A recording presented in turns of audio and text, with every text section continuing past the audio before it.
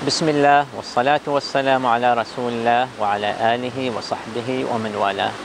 Many people ask this question as to whether the intention of the ma'mum or of the follower has to be identical with that of the imam or not. And this is a disputable issue and there is no one consensus, one opinion agreed by all scholars of Islam. However, what was preferred, what was outweighed by our Sheikh Saeed Mabrouk al-Qanubi is that the intention of the ma'mum doesn't have to be identical to that of the imam.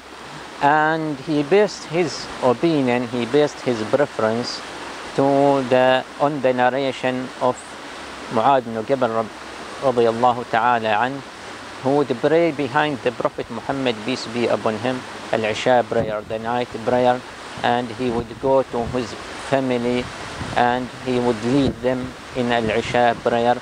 So he prays voluntary while they're praying behind him the compulsory uh, prayer.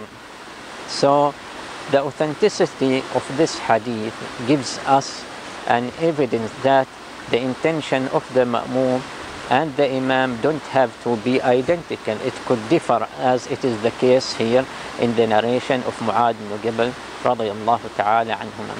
However, because there is another opinion which prerequisites that one should pray the same prayer as that of his imam, Sheikh Sa'id al-Qanubi says it is better to avoid going into the disputable issue it is better as, lo- as long as you know that the imam is praying another prayer to avoid that and if you don't know or if there is a necessity that should be alright inshallah ta'ala I ask Allah subhanahu wa ta'ala to guide us to the straight path إنه ولي ذلك والقادر عليه السلام عليكم ورحمة الله وبركاته.